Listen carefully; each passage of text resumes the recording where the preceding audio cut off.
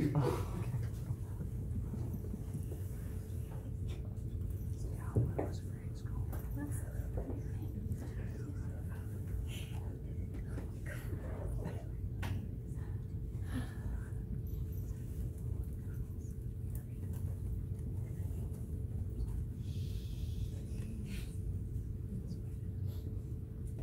get to introduce Jacob Rasmussen today. Um, and the fact is that both on and off the paper, Jacob is an amazing student. Um, his list of accomplishments alone make him more than deserving of this award. Uh, he was, he's been on exec for the past two years. He served as junior class president, and this year he is Heitner Club co-president. He was cross-country captain the past two years and a soccer captain this year. He served as FBLA, FBLA secretary and got to be co-president of the amazing club of Ultimate Frisbee, all while maintaining a 3.95 GPA. But the real reason he got this award isn't because of his list of accomplishments, but because of the kind of person Jacob is. I've had quite a lot of memories with Jacob. Um, freshman year, he almost got impaled after slipping off the trail at Poo Poo Point while we were trying to collect data for a science experiment. I woke up to way too many early morning meetings with him on exec board.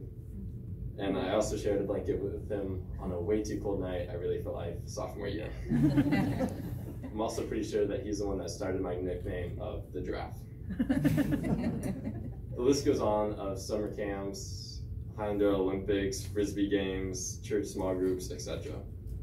Jacob is one of the most caring people that I know, and he's been a major part of my life.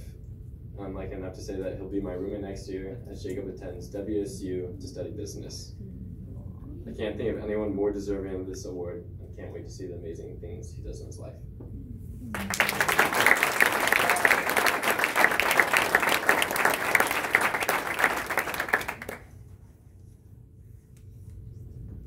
Thank you, Kevin. Throughout high school, I've been fortunate to have amazing friends, staff, and family to support me throughout high school. My dad has always been there to push me to be my best, pushing me towards perfection or greatness in everything I do.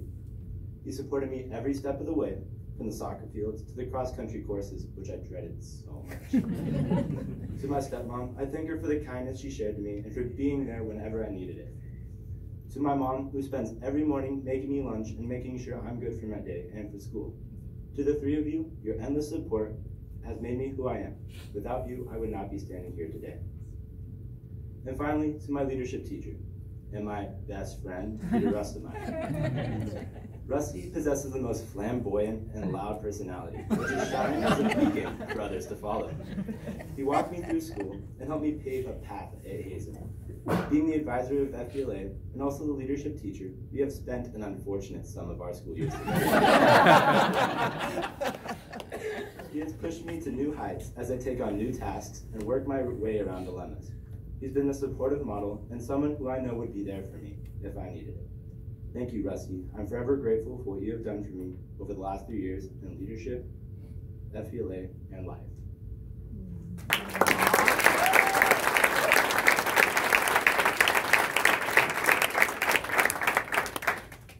I'm beyond privileged to be talking about this man next to me today.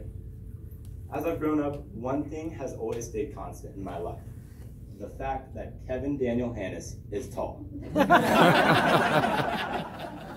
Growing up, Kevin's height made him not only a leader on the playground, but also in the classroom.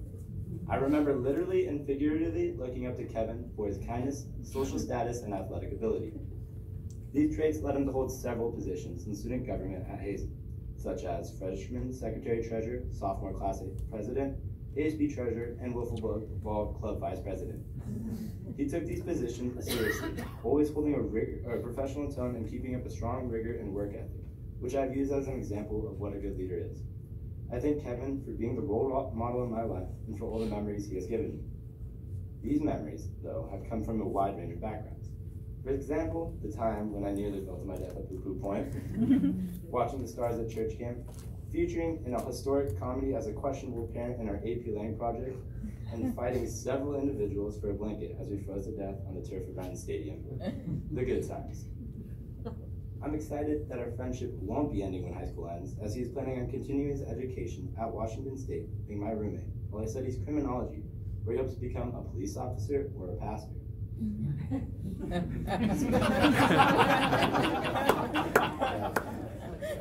Despite all of Kevin's achievements, it isn't what he does on the field or in the classroom that sets him apart.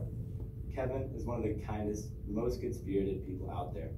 A reliable friend, student, and someone that I know I can trust with anything. He is someone that can anyone can rely on in any situation. I'm thankful to have him as a friend, future roommate, and my brother from another mother. I know Kevin is more than deserving of the description outstanding. Thank you.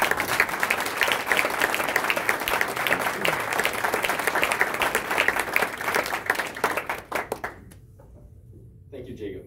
And thank you to everyone here tonight. I've been lucky enough that God has given me an amazing family and group of friends that have always been there and supported me. I've had amazing teachers at my time at Hazen, many of which are in this room today. Um, but most specifically, I want to thank Mr. Viles. Mr. Viles is the reason I have a love for music, um, and I wish I had more time because there's so much to be said of him. Um, but I think the best way that I can describe him in short is that at the end of last year, he was singing us in choir for being such great students and people. And my response to him was that we're all just normal high school students and that it's him that makes us truly great. So, Mr. Viles, I want to say thank you. I'll to see you next year.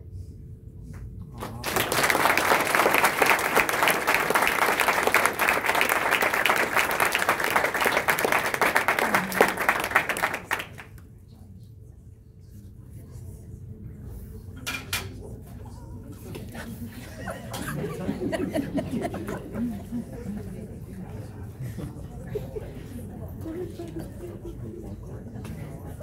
you.